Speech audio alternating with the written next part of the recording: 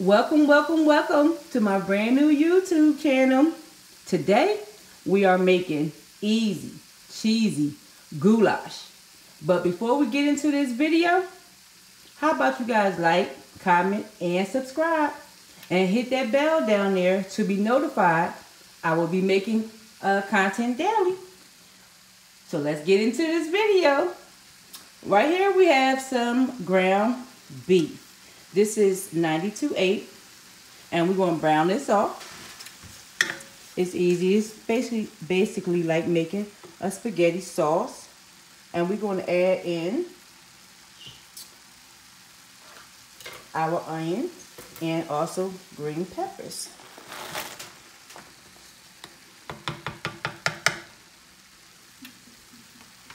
So we're going to brown all this off together. I'm going to turn the heat up just a tad bit.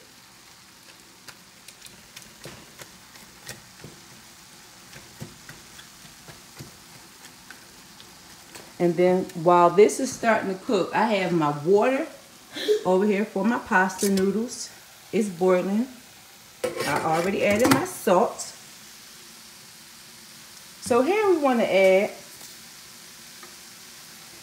a little all-purpose seasoning of your choice. Mine is Morton's. I love that brand.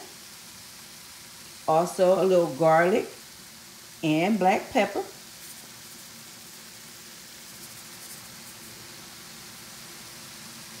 Also we have a little onion powder. So we're going to add all these to the mix. And just continue to stir till everything is incorporated and cook thoroughly.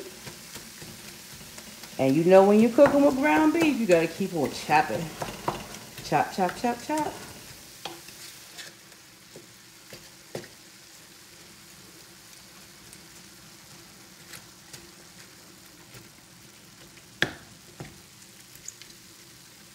Okay, so we're to let this sit for a second. And while we are waiting for that to brown up, we will add our elbow noodles. Okay?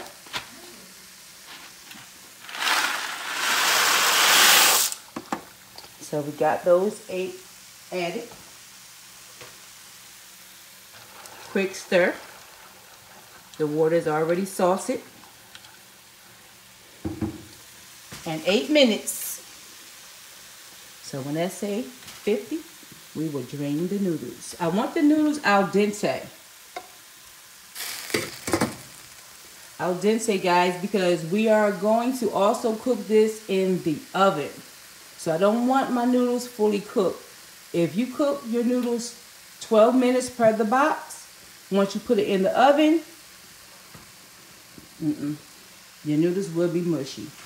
So let's go back over to our ground beef. And I chose um 92 8 because the fat content is not a, it's, it's, it's not a high fat content. I didn't want to drain off all that liquid like with uh, ground beef. So I chose that just to make my life easier. It's Wednesday, hump day. I wanted a quick meal for the children. Okay, guys. You're going to keep on breaking this ground beef up. Especially with goulash, you don't want any big chunks of meat. You want meat to be incorporated with the cheese and the noodles.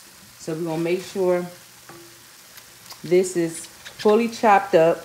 Also, the um, onions and the bell peppers are also cooked down very well.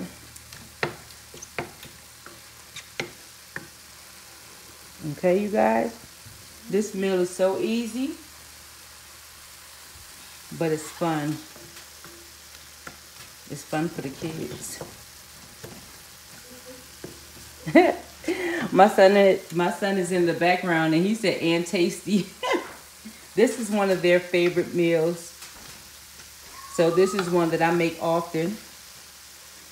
And YouTube, you guys, I will be coming to you daily um, with food, recipes, just whatever I feel like doing that day. Have onions on my stove. Oh no, it's from the water. Okay.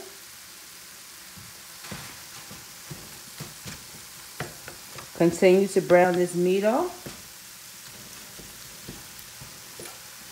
Coming, it's coming along good.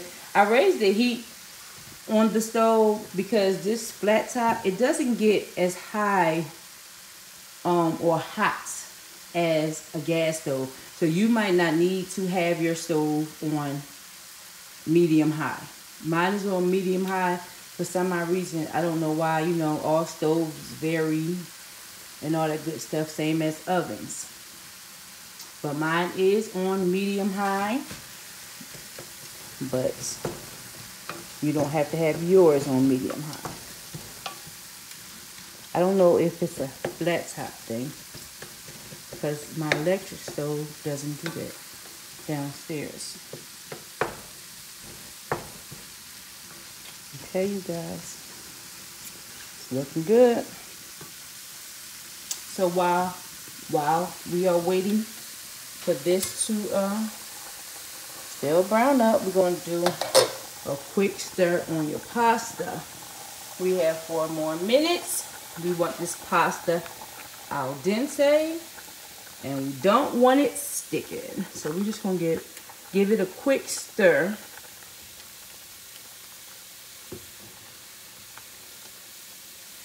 And it's coming along great. The ground beef is coming along great. Sizzle, sizzle.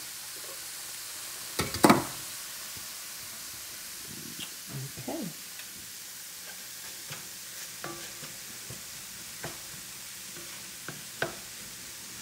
Okay, we're going to let this go for another minute or two.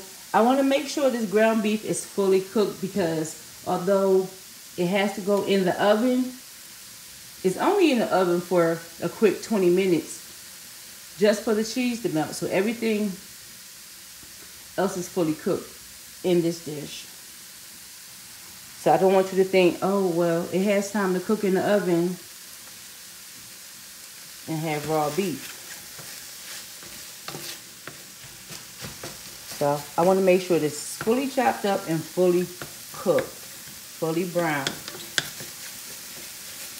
We have all our um,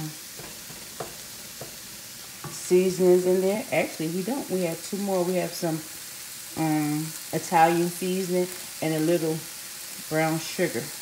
I'm going to put in the sauce. I didn't have regular sugar. And the sugar is only to balance out the acidity in the tomato sauce. That's its only purpose. We don't want sweet goulash. Uh-oh. Oh, we had a catastrophe. So we're going to take that off. Okay. We have two more minutes on the noodles, on the elbow noodles. And also, my ground beef is also ready.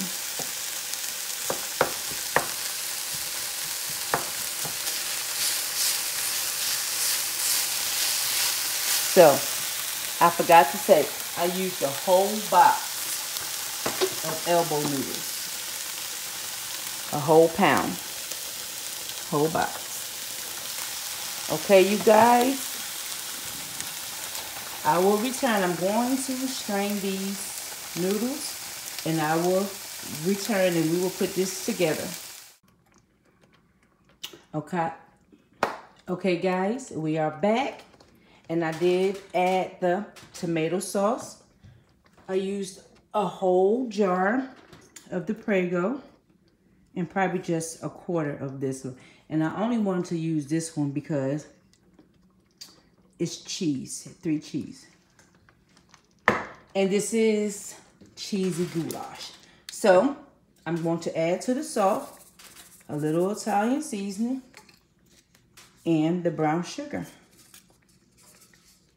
And like I said, the sugar is just to reduce the acidity in the tomatoes.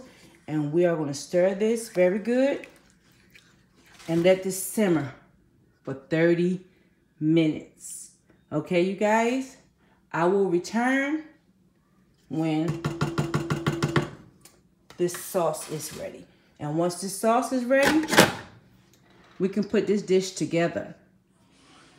Okay, guys, we are back. It has been 30 minutes. I went, I went ahead and put the noodles inside of the sauce because I'm holding this camera with one hand, so it was hard to do it.